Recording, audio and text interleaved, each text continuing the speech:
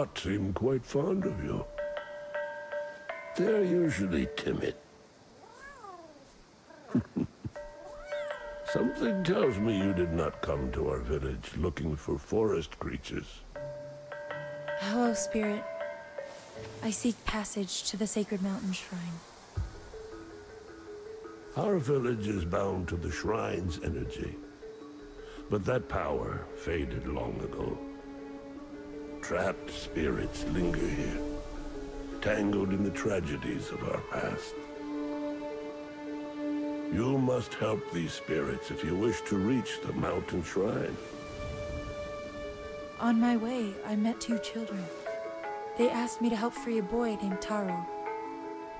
I'm not surprised that Beni and Saiya found you. They are clever children, and would do anything for their brother.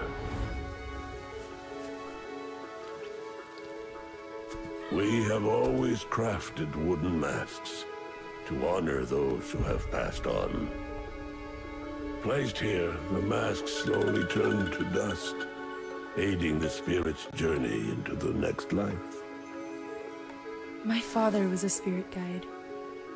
Our traditions are different, but he helped many spirits pass from this life to the next. So you know what happens to spirits unable to move Take Taro's mask. It is bound to his spirit, and will help you fulfill your promise to the children. Look after Beni and Saiya. Their brother's fate will be difficult for them to understand.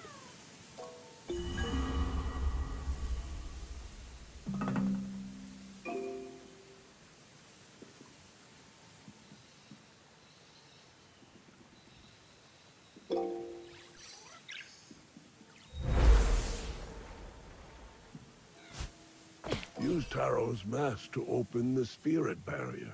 Beni and Saiya knew the way.